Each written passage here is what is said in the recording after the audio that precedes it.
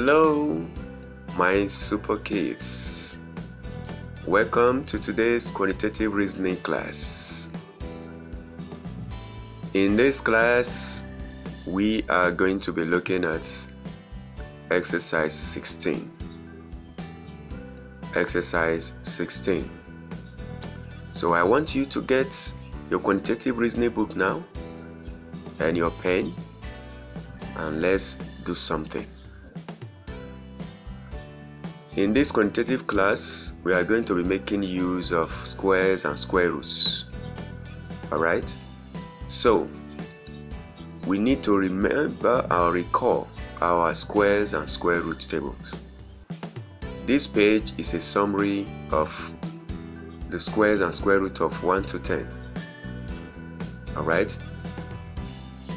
Now we are going to begin by looking at lesson number 1. The shape we have in lesson number 1 is a, is a T that is lying down horizontally.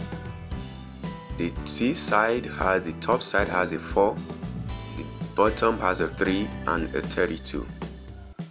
So we are going to try to find the 32 first using the number 4 and the number 3. Alright? So let's go to the board now.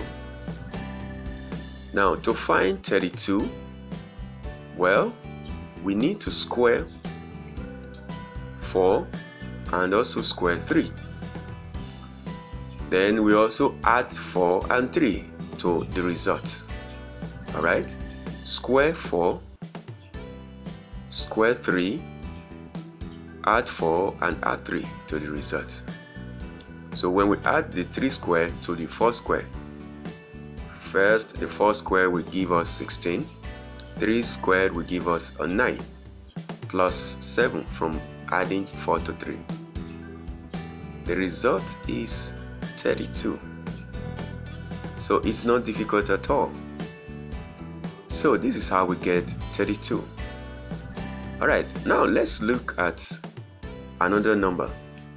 This time around, we are going to be making use of the 32 and the 4, alright, to get the 3. So the next number we are going to try to find is the number at the position of 3 using the 4 and um, the 32. So when using 4 and 32 to get the number at the position of 3, what do we do? We are going to go back to the board again and we will see how we can do some kinds of subtraction, squaring and subtracting, alright? Now look at the board. We have a Y, a letter representing the number we are looking for. And what will that give us? First, we are going to square the 4 and try to subtract it from 32. So 4 square is removed from 32 and also the number 4. So when trying to get the number at the other position, we try to use the square of 4 and 4, subtract the result from our 32. Well, that is going to give us a 20. So when we subtract 20 from 32, we're going to get 12. Alright? So the closest square or perfect square from the bottom to 12 is 9. Alright? So, because after 9 you are going to get a 16. So easy is 9 that is the closest. So you now try to find the square root of 9. How do you do that? You try to change it to 3 squared. And so it is obvious that 3 is the number we are looking for. So we are also going to try to find the other number, which is the 4. This time around you'll be given 32 and the 3. So we try to find 4. So again, we try to allow y represent the unknown number. The same method we use to get the 3 is what we are going to use to get the 4. Square the 3 and subtract both 3 and 3 squared from 32. So that is going to be 32 minus 12. Alright, that is simply 20. So what is the closest square or perfect square to 20? From the bottom is 16. Alright? 16. So what is the square root of 16? Again, we are going to use square. And so 4 square is 16. So the number is 4. Alright? The number is 4. Now, this is how we get the three numbers. Let's look at the next one in lesson 2. It's like a diamond shape or you can also call it a kite. We have a 4 and 8. We have another 4 and another 4. But these two 4, they are always going to be the same. So any number you have at one of these positions is also going to be the number you have in the other position. It means if I have a 5 there, I will also have a 5 at the other position. So now, if I'm asked to find the number 8, I need to add 4 to 4 to get 8. Alright? So 4 plus 4, 8. The top side too, 4 plus 4, we also give you the same 8. Alright? So you can add vertically to get the 8 or add horizontally on the top to get the 8. So whatever we have at the top, when added, gives you the 8. Alright, let's see what you have on the board here. Now, just like I explained earlier, 4 plus 4 gives you the 8 vertically. So, when you add the 4 to the 4, you get your 8, whether at the bottom or the top. Alright? So, sometimes it is also important to know that the 4 are cross. That is on the top, yes, this 4.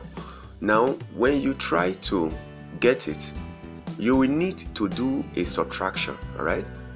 You have to subtract because when you add the 4 vertically it gives you 8 you add the other 4 it gives you an 8 so that means to get the other 4 at the right hand top or the top right side you have to subtract the one of the 4 from 8 alright and that gives you a 4 also.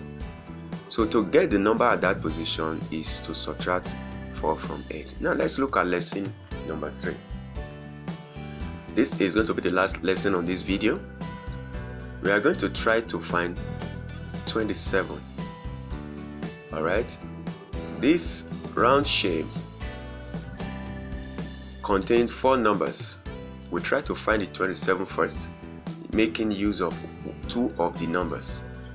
You can see a 3 you can see a 9 so what do you think you can do with 3 and 9 to get 27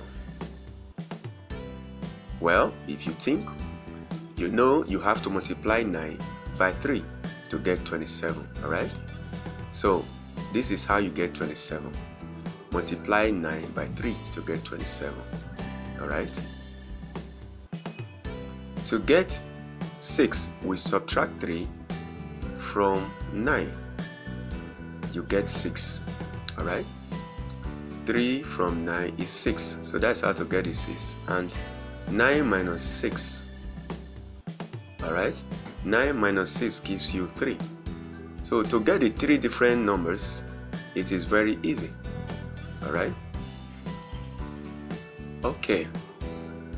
Now we are going back to the next lesson which is lesson number 4 now the lesson number 4 has a triangle. A triangle has uh, four numbers. One at the middle which is 16 2 4 and 14 at the other end. Now we are going to try to get the 16 as usual we allow y to be the unknown number. You discover when you add 4 to 14 you get 18 all right? So to get the 16 is very easy. Add 4 to 14 that's 18 then you subtract the 2 all right to get the Now let's get 14. To get 14 or the position of 14, we allow the unknown number to be y. 16 plus 2 is 18. Again, 18 minus 4 gives us 14. See? Alright, so how do we get the 4? If we are to get the 4, what should we do? Now again, let's go to the board. We allow the unknown number to be y. Then we try to add the 2 at the top to 16, which is at the middle of the triangle, to get 18. Then when you subtract 14 from that 18, you get 4. So that means the number is 4. So the last one we are going to look at is the 2 at the top. So we are going to try to get the 2 at the top. Now, so how do what do we do with the other three numbers to get the 2 or the number in that position of 2? Let that unknown number be y. So the first thing you do, you add the uh, the two numbers at the base of the triangle. All right, 4 and 14. You get 18. So when you are done getting 18, you subtract 16 from it and you get a 2. So 18 minus 16 is 2. Alright, thank you for watching. I'll see you in the next class.